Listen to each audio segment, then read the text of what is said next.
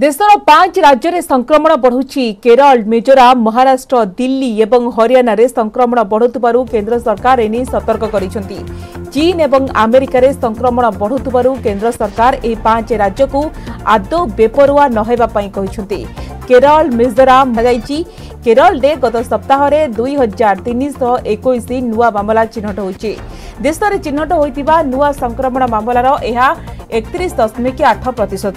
রাজ্যের সাপ্তাহিক পজিটিভিটি হার তের দশমিক চারি পাঁচ প্রত পনের দশমিক পাঁচ তিন প্রত বৃদ্ধি পাইছে